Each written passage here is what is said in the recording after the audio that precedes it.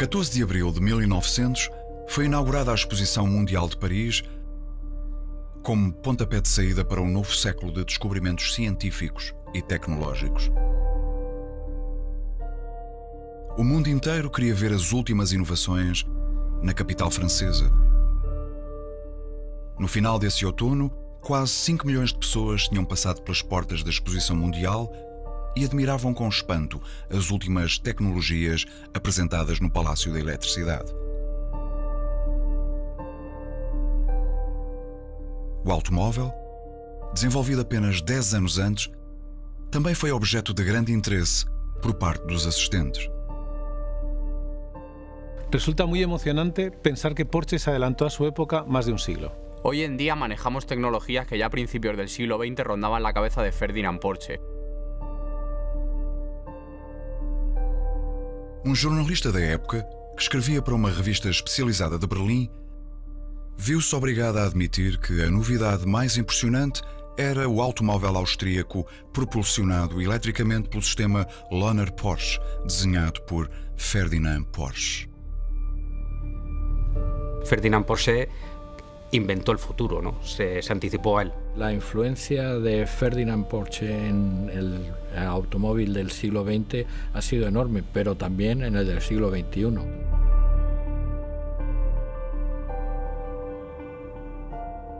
Assim começaram os primeiros passos da Porsche e Performance.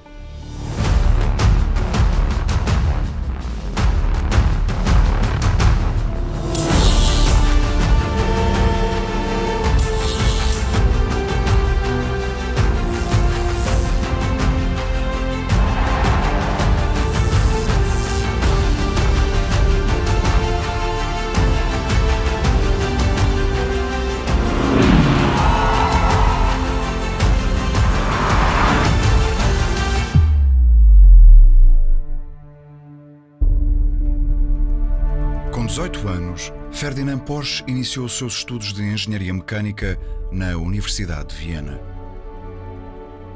Ao mesmo tempo, começou a trabalhar em Bella Eger, uma empresa elétrica local. Foi então que despertou nele a curiosidade do automóvel ligado à eletricidade. O jovem engenheiro foi posteriormente contratado como desenhador por Jacob Lohner, cujos carros impulsionados por eletricidade tinham uma potência muito baixa.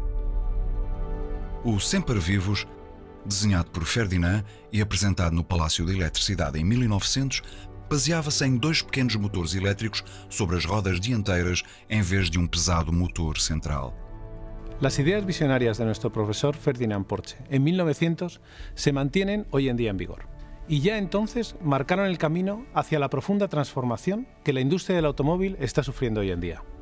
Assim, com a idade de 25 anos, Ferdinand passava a fazer parte inquestionável da história do automobilismo moderno. En el año 2011, el Semper Vivus, el primer vehículo híbrido de la historia del automóvil diseñado por Ferdinand Porsche, fue totalmente reconstruido en nuestro centro de desarrollo de Weissach y realmente pudimos comprobar que fue la base histórica de nuestra flota de híbridos y de que el concepto e-performance estuvo Semper Vivus, siempre viva. Mas a inquietação de Ferdinand era indomável e um ano mais tarde desenvolveu o primeiro veículo híbrido da história, propulsionado a gasolina e eletricidade e com tração às quatro rodas, gerada eletricamente graças a um pequeno motor de combustão. Este modelo bateu os recordes de velocidade de então, superando os 60 km/h. Las marcas, al iniciar la tecnología eléctrica e híbrida, han tomado como referencia los desarrollos de, del profesor Ferdinand Porsche. Anos mais tarde, durante a sua passagem pela Austro-Daimler, Ferdinand Porsche não só desenhava e testava os veículos, como também os punha à prova nos circuitos de competição, aplicando nos seus desenhos tudo aquilo que aprendia competindo sobre a pista. La llegada de Ferdinand Porsche al mundo de la competición marcó el destino de las carreras de coches y el de la marca, consiguiendo llevar aquellas locas máquinas a límites de prestaciones impensables para aquella época. Começou assim a tradição Porsche por adquirir nos circuitos de competição a experiência no desenvolvimento de tecnologias que, de maneira quase automática, eram, são e serão passadas para os modelos Porsche de produção em série. Milhões de utilizadores Porsche à volta do mundo viram-se beneficiados ao longo da história por esta tradição.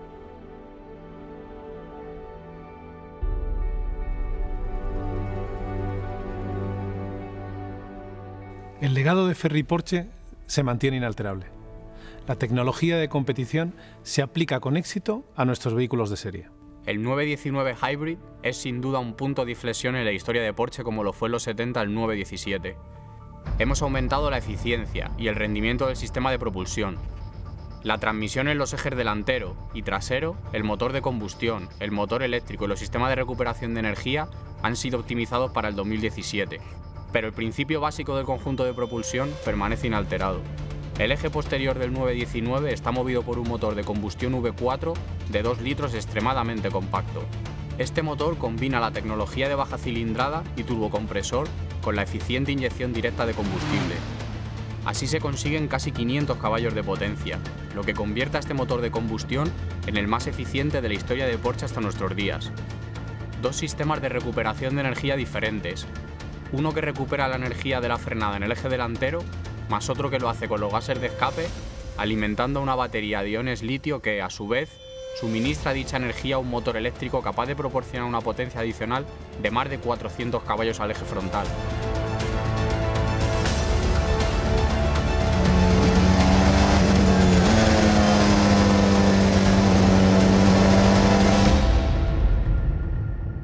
Esa innovación, todo ese esfuerzo, tanto económico como de tiempo, en, lograr un coche ganador, luego tiene su transferencia en coches de calle.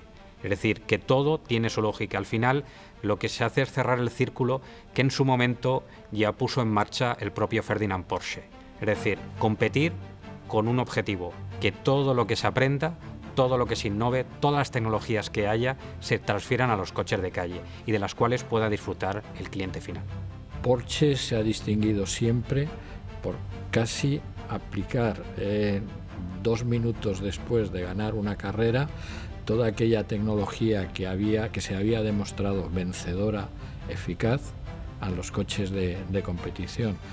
Es posiblemente la marca que menos tiempo ha empleado en aplicar a, al coche de produção todo aquello que iba desarrollando. Com o 919 Hybrid e sob a inspiradora missão de O Desportivo do Futuro, conseguiu um hat-trick histórico. As vitórias absolutas 17, 18 e 19 nas 24 horas de Le Mans nos anos 2015, 2016 e 2017, em combinação com os títulos mundiais no Campeonato Mundial de Resistência da FIA.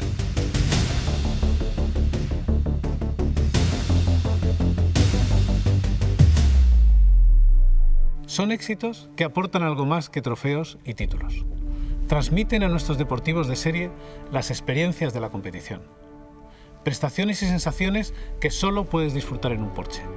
Para nosotros la competición es un enorme laboratorio de pruebas. Si nos vamos a la historia más reciente con el 911 R Hybrid, que estuvo a punto de ganar las 24 horas de, de, Nürburgring a falta de una hora y media, pues el coche, el coche paró, es un gran ejemplo de cómo podemos transferir la tecnología de competición a vehículos de serie.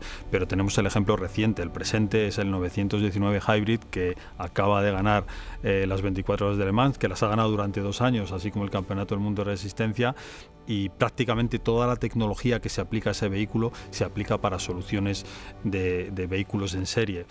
Ello quiere decir que nosotros tenemos un doble compromiso con, la historia cuando hablamos de competición. Por un lado es competimos para ganar, porque no sabemos hacerlo de otra forma, y por otro lado a la vez queremos aportar soluciones válidas para nuestros clientes, los que realmente compran nuestros vehículos, disfrutan de ellos y además se pueden eh, aprovechar de esa transferencia de tecnología. Competir, aprender, disfrutar. Mas ao finalizar a competição oficial, inicia-se outro tipo de corrida noutro pit lane, o de Weissach.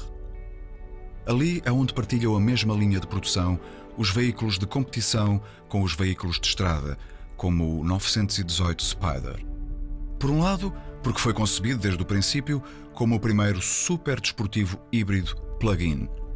Por outro lado, porque em 2013 estabeleceu o recorde de volta mais rápida no circuito de Nürburgring para desportivos com homologação de estrada, com um tempo de 6 minutos e 57 segundos, recorde que permaneceu imbatível até este mesmo ano. Nunca antes um super desportivo apto para o uso diário tinha combinado a excelente estabilidade de condução com o consumo de um utilitário. La tradición de Porsche en materia de superdeportivos es, es más que obvia, ¿no? Si echamos una vista al pasado con el 959 o con el Carrera GT, pues tenemos nuestra, nuestra referencia más actual es el 918 Spider. A mí cuando me preguntan qué, qué es para ti el 918 Spider, a mí me parece sencillamente un coche brutal.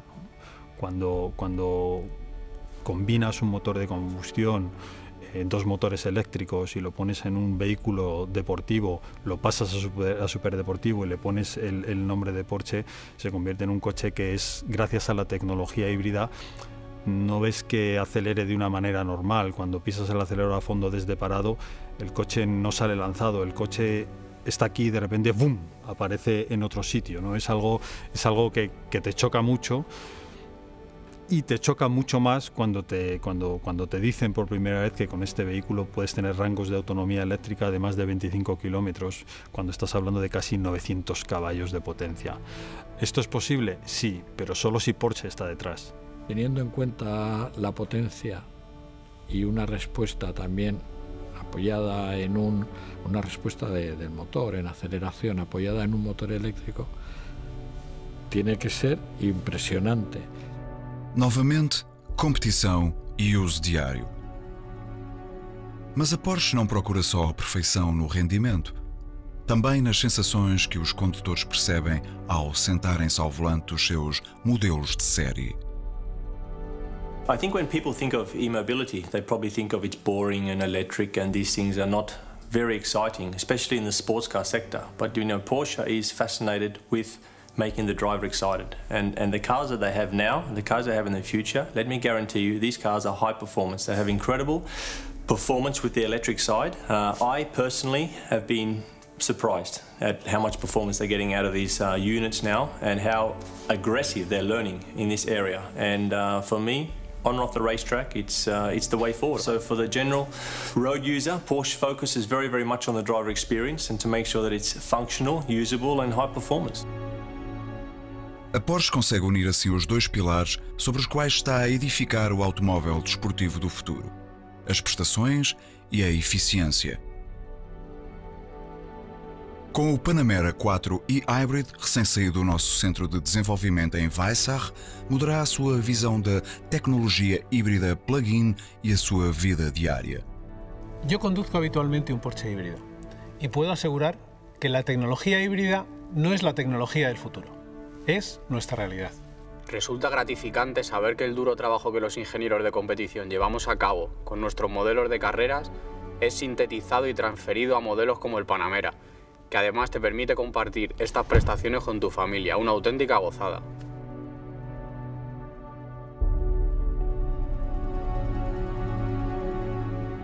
Com 462 cavalos de pura potência desportiva e com um consumo de apenas 2,5 litros aos 100 km, as sensações desportivas que provoca ao conduzi-lo mantêm-se inalteradas, como sempre foi na Porsche. Eficiente quando se requer, desportivo quando se deseja. En Autovil España y Top Gear España tuvimos el privilegio de ser de los poquitos medios españoles que tuvieron la oportunidad de, de probar este modelo. Y la verdad que una de las primeras impresiones que nos llevamos es que esto representaba lo que podría decirse el Dr. Jekyll y Mr. Hyde sobre ruedas. Entre otros motivos porque eh, conjugaba en un solo vehículo, como he dicho anteriormente en otros modelos de Porsche, pero en este caso todavía más claro, eh, lo que son dos mundos, el mundo de eco-friendly y por otro lado el mundo de la deportividad suprema. Para mí además el concepto Panamera híbrido enchufable es en, el, que alcanza la tecnología su máxima expresión. ¿Por qué? Porque si en el primer Panamera híbrido se estaba hablando de una posibilidad de avanzar en, en modo eléctrico de 2 a 3 kilómetros, aquí estás moviéndote en 30 kilómetros. Si además uno atiende a lo que dicen las estadísticas, que es muy poca la gente que hace más de 40 kilómetros al día en tráfico urbano, quiere decir que si tú estás utilizando el coche en la ciudad, estás consumiendo prácticamente cero y estás emitiendo también cero. Con los nuevos Panamera híbridos hemos alcanzado el cenit de la transferencia tecnológica de la competición a la calle. El Turbo SI Hybrid es el modelo más potente de nuestra gama. 680 caballos, consumos inferiores a 3 litros, unas emisiones de poco más de 60 gramos y una velocidad máxima de 310 km hora. Y performance en estado puro. Para Porsche la, hibridación es, realmente una, enorme aventura por, por dos razones. Si toda la industria de automoción va dirigida a, ese, a, la evolución de las nuevas tecnologías, de tecnologías alternativas, en el caso de Porsche no solo vamos en esa dirección, sino que además tenemos que seguir demostrando lo que somos, que es un fabricante de vehículos deportivos, independientemente del tamaño, de la forma o del uso que vaya a ser del vehículo. Fabricamos deportivos porque no sabemos hacerlo de otra manera. No se trata de una moda, no es una tendencia pasajera. A Porsche soube adaptar-se à mudança e situa-se na vanguarda do desenvolvimento tecnológico em propulsão híbrida e elétrica. Porsche tiene asegurada su, su supervivencia en, dentro de, de, este mundo incierto que parece que se nos avecina dentro de la industria del automóvil, con la conducción autónoma la, y demás. En ese sentido, creo que Porsche ha hecho bien los deberes, ha entendido bien y aplicado muy bien lo que eran los preceptos que, que desde un primer momento eh, puso en marcha eh, Ferdinand Porsche y se anticipó al futuro y sobre todo ha hecho máquinas diferentes. Cuando haces cosas diferentes tienes mucho del trabajo hecho de cara al futuro.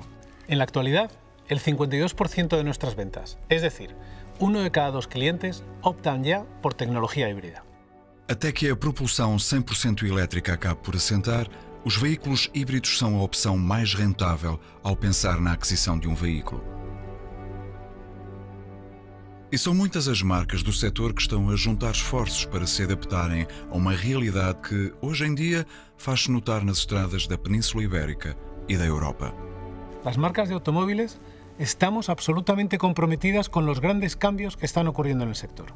Digitalización, desarrollo de infraestructuras de carga eléctrica y conducción autónoma. Los sistemas híbridos, digamos que tienen mucho más sentido en un coche grande, en un coche eh, potente, que no en los pequeños que la gente piensa que serían los híbridos eh, lógicos. Adquirir en estos tiempos que corren un vehículo híbrido, más que un eléctrico, pero sobre todo un híbrido, que es el paso intermedio, es, una, es asegurarse el futuro porque lo más probable es que dentro de dos, tres años, grandes urbes como pueda ser Madrid o Barcelona van a vetar el acceso a ciertos modelos, sobre todo los vehículos con, motores diésel. Y el hecho de contar con un vehículo que, que, lleve un, motor híbrido o eléctrico o híbrido enchufable va a permitir asegurarse el poder acceder a la ciudad. Y, sobre todo ya, si encima apelamos a lo que es el, eh, un intangible, como es el respeto al medio ambiente, que es algo muy personal, con, con un vehículo híbrido pues eh, satisface esa, esa demanda. Os veículos híbridos têm um menor consumo de combustível e um melhor rendimento no seu funcionamento graças ao apoio dos motores elétricos. As suas emissões de gases são até 80% menores. Além disso, o acesso aos centros urbanos é ilimitado, independente do protocolo de contaminação em vigor. Contam com descontos nas tarifas de estacionamento nas principais cidades, sem mencionar a redução da contaminação acústica. A sua autonomia é maior graças à combinação dos seus motores e, inclusivamente, os seguros são mais económicos devido ao perfil de utilizador tipo que adquire esses modelos. Também o Estado permeia os automóveis híbridos com deduções claras no imposto automóvel, IRS e IRC. La tecnología híbrida yo creo que es muy interesante, particularmente, y lo he dicho antes al hablar de, del Panamera híbrido enchufable, alcanza, digamos, su máxima expresión o su máxima eficacia cuando es efectivamente enchufable. Tú tienes la capacidad de llenar unas baterías. Eh, que sí tienen una cierta capacidad de recarga a través de los sistemas de recuperación que lleva el coche, pero básicamente enchufando, enchufando el coche en tu casa o en el aparcamiento de tu trabajo eh, a, la, red. Eso, eh, como hablaba antes, mm, le da unas posibilidades de que en, eh, circulación urbana las emisiones de ese coche sean cero y por tanto cumplen con todo el, requerimiento que no solo que te impone la ley, sino eh, que te está demandando también una sociedad eh, que está convencida que tiene que cuidar el medio ambiente. Eh, con eso nadie podrá decir que un Porsche es un coche que está pues antisocial, vamos. E performance também implica que cada utilizador decida o tipo de carga da bateria do seu veículo híbrido. Hoy en día es habitual poner a cargar el smartphone, la tablet o el portátil. Desde el punto de vista de la facilidad de carga, nuestro vehículo es ya un dispositivo más. O carregamento convencional monofásico utiliza a intensidade e voltagem elétricas do mesmo nível que a própria casa, ou seja, 16 amperes e 230 volts e 3,7 kW. O carregamento convencional aplica níveis de potência que implicam uma carga com uma duração de 8 horas aproximadamente. O carregamento semi-rápido utiliza 32 amperes de intensidade e 230 volts de voltagem elétrica. Isto implica que a potência elétrica que o ponto de carga pode disponibilizar é de aproximadamente 7,3 kW e uma duração de carga de umas 4 horas. O carregamento rápido utiliza uma maior intensidade elétrica e, além disso, fornece a energia em corrente contínua, obtendo-se uma potência de saída da ordem dos 50 kW. Tal implica um tempo de carga de 30 minutos para 80% da bateria.